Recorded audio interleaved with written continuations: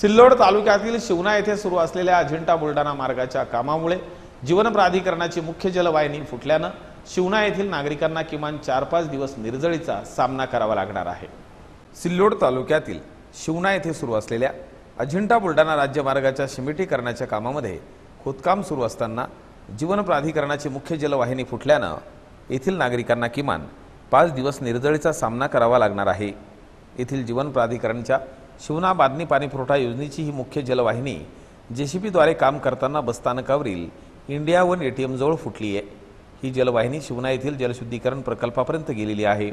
तिथून गावाअंतर्गत पाणीपुरवठा करणाऱ्या जलकुंभावर व मादनी येथील जलकुंभावर ही जलवाहिनी गेलेली असून मुख्य बाजारपेठेतच जलवाहिनी फुटल्यानं व अजिंठा धरणातून येणारं पाणी जलशुद्धीकरण प्रकल्पापर्यंत पोचणार नसल्यानं त्यामुळे दोन्ही गावांचा पाणीपुरवठा बंद राहण्याची चिन्ह आहेत. दरम्यान या संदर्भात उपसरपंच अरुण काळे यांनी ही जलवाहिनी तातडीने दुरुस्त करणार असल्याचं सांगितलं आहे.